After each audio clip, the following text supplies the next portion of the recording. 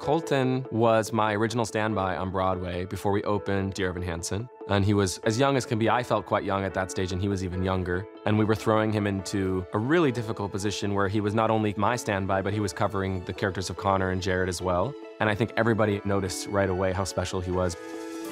When I was an understudy for the show, I was supposed to understudy all three boys, Evan, Connor, and Jared. And I knew all the songs like the back of my hand.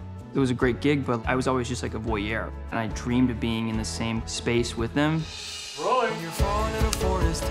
So when this finally came back around and I saw his name for Connor, I just had an inkling and, and a feeling that that was exactly where this circle was kind of meant to close. And on a selfish level, I was just so thrilled to have someone who I love as a friend. I got to know the DNA of the show so much that to come back to it and all of a sudden now I will be intrinsically a part of the DNA, that's just so priceless to me.